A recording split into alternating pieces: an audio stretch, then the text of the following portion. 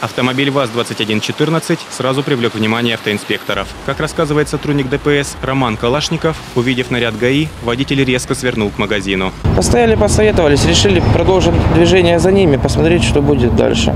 Смотрим, автомобиль резко скрывается вправо, заезжает в стоянку автомобилей КАМАЗ. Вот. Заезжаем следом, вот. водитель, водитель пытался скрыться, был задержан. Вот.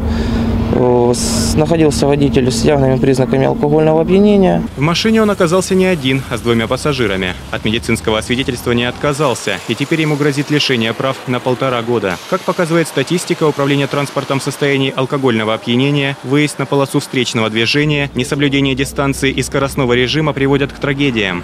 Пьяный за рулем – это преступник. Его нужно остановить и пресечь данный вид административного правонарушения.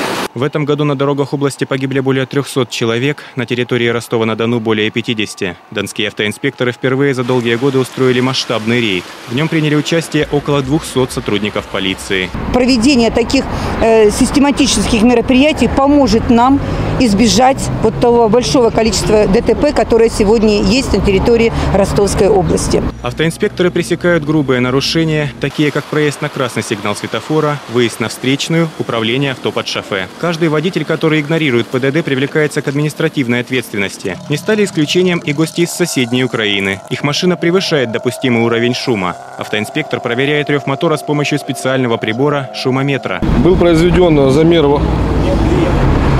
у автомобиля ВАЗ-2101. Э, При положенных 96 дБ у него показалось 105,1. Э, Соответственно, замираются номерные знаки, составляется административный протокол. Владелец авто оправдывается. О существовании ответственности за превышение уровня шума узнал только сейчас, через два месяца пребывания в России. мы вместе вот ездим он за рулем, да, вот мы ездим.